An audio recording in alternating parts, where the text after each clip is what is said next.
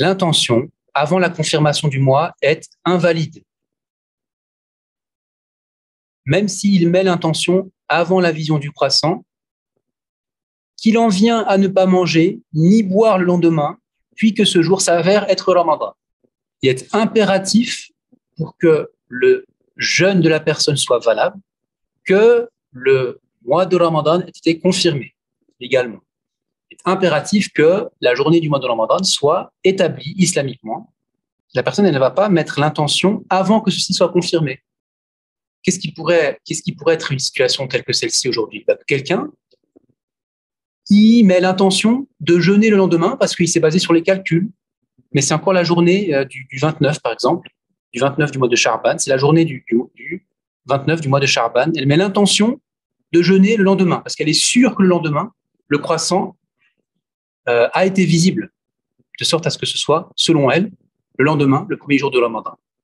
Mais elle, eh bien, qu'est-ce qu'elle va faire? Elle va se coucher, elle va dormir. Elle va dire, OK, maintenant c'est bon, euh, je vais me coucher avant le mari. Et elle dort. Et elle se réveille le lendemain.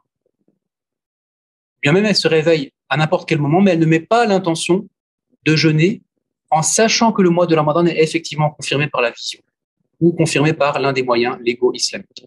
Elle ne s'est basée que sur le calcul, par exemple, si bien que elle s'est dit, moi, je vais jeûner le lendemain, mais en se basant sur quelque chose qui n'est pas confirmé légalement islamiquement. Et dans ce cas-là, ça n'est pas accepté de sa part. Son jeûne n'est pas accepté de sa part.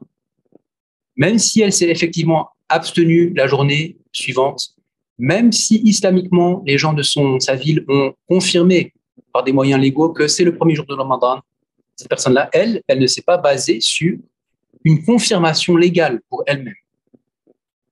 Comprenez Donc c'est ça ici. Là, ce n'est qu'un exemple parmi d'autres. C'est un exemple que j'ai donné parmi d'autres possibles. Autrement dit, la personne, elle ne s'est pas basée sur un moyen légal de se confirmer pour elle l'obligation de jeûner. L'obligation de jeûner, parmi ces conditions, c'est que le mois de Ramadan soit confirmé. Et à ce moment-là, dès le coucher de soleil, quand le mois de Ramadan est confirmé, elle met l'intention de jeûner le lendemain. Et si elle veut, elle met l'intention de jeûner tout le mois de Ramadan.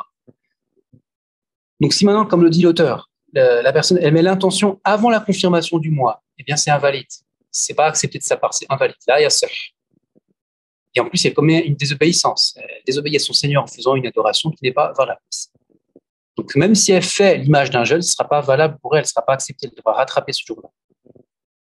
L'auteur dit alors aussi, dit à la fin, il s'abstient alors obligatoirement de manger et boire pour la sacralité du mois, puis le rattrape.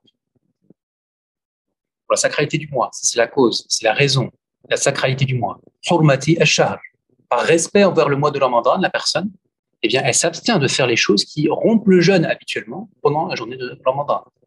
Même si elle a fait preuve de manquement et que son jeûne n'est pas valable ce jour-là, elle doit s'abstenir. Elle a l'obligation de s'abstenir. Ici, l'auteur dit de manger et boire, mais aussi des autres choses qui annulent le jeûne. C'est ici un exemple quand il dit manger. Tout ce qui annule le jeûne. En plus de ça, elle doit aussi s'en abstenir, la personne. وصل اللهم وبارك على سيدنا ومولانا رسول الله. اللهم اجعلنا قلبا خاشعا ولسانا ذاكرا وجسدا على البلاء صابرا. اللهم أصلح لنا ديننا الذي هو عصمة أمرنا وأصلح لنا دنيانا التي فيها معاشنا وأصلح لنا آخرتنا التي فيها معادنا. واجعل الحياة زيادة لنا في كل خير. واجعل الموت راحة لنا من كل شر. وصل اللهم وبارك على سيدنا ومولانا رسول الله وعلى أصحابه الطيبين الطاهرين. وآخر دعوانا الحمد لله رب العالمين.